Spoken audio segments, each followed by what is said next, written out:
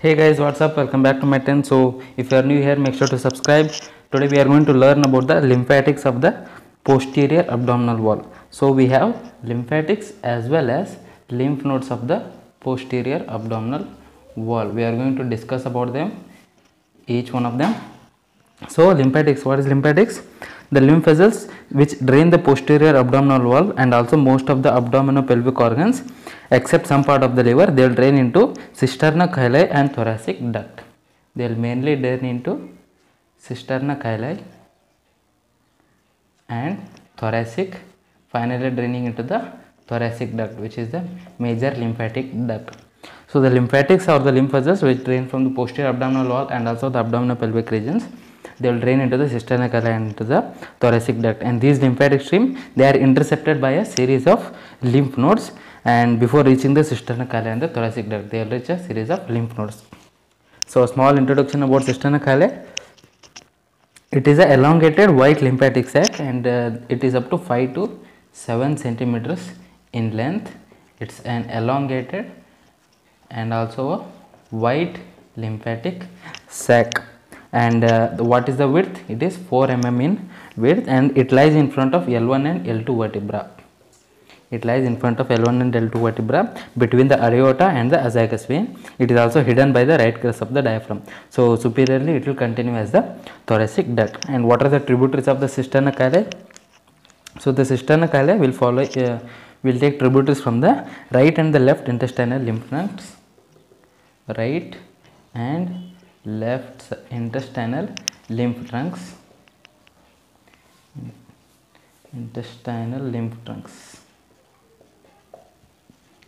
And also it will follow a tributary from the right and the left lumbar lymph trunks. Right and the left lumbar lymph trunks. And also it will follow the pair of lymph vessels which drain from the lower intercostal lymph nodes. The third tributary is the lower intercostal lymph nodes. So what are the tributaries of the cisterna chyli? We have the right and the left intestinal lymph trunks. We also have the right and the left lumbar lymph trunks and also lower intercostal lymph nodes. These all three will finally drain into the cisterna chyli. So coming to the uh, lymph nodes, what are the lymph nodes we have? Lymph nodes. So so these lymph nodes they are located uh, along the uh, external iliac arteries, the common iliac arteries and also the abdominal aorta. So accordingly these lymph nodes are termed as external iliac nodes, common iliac nodes and the aortic nodes. Firstly we will be learning about the external iliac nodes. External iliac nodes. So what about the external iliac nodes? These are around 8 to 10 in number 8 to 10 in number and they lie along the external iliac vessels. They lie along the external iliac vessels. The medial nodes will receive the lymph from the pelvic viscera and the lower limb, whereas the lateral nodes they receive the lymph from the territories of the inferior epigastric and also around the deep circumflex iliac vessels. And also afferents from these nodes will pass into the common iliac nodes. So they, we have a medial nodes as well as the lateral nodes of the external iliac medial ones is draining from the pelvic viscera and the lateral ones is draining from the inferior epigastric and the deep circumflex iliac vessels. So that's about the external iliac nodes. The second we have is the common iliac nodes. Common iliac nodes. So what about the common iliac nodes? These are 4 to 6 in number and they lie along the common iliac vessels and the lateral group of nodes will receive the lymph from the pelvis and the lower limb via external iliac nodes they receive from the pelvis and the lower limb that's about the common iliac nodes. And finally we have the third one that is the aortic lymph nodes. Aortic lymph nodes. And what about the aortic lymph nodes?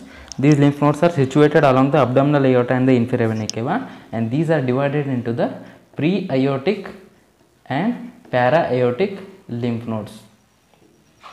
Pre-aortic and the para-aortic lymph nodes. So what about the pre-aortic nodes? These nodes are located around the origin of the celiac superior mesenteric and the inferior mesenteric arteries. And also they are named accordingly as the celiac nodes superior mesenteric nodes and the inferior mesenteric nodes. And what about the para-aortic nodes? They are situated on each side of the abdominal aorta.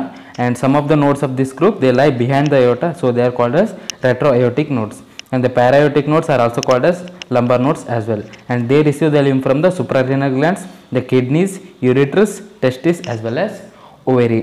And they also receive the lymph from most of the pelvic organs and lower extremities through the external iliac internal iliac common iliac and also other pelvic nodes. So that was about the paraaortic nodes and preaortic nodes and common iliac nodes, external iliac nodes and also about the cisterna chyli and the thoracic tract. So this is about the complete lymphatics and lymph nodes of the posterior abdominal wall. So if you like the video make sure to subscribe and also share it among your friends. Thank you so much.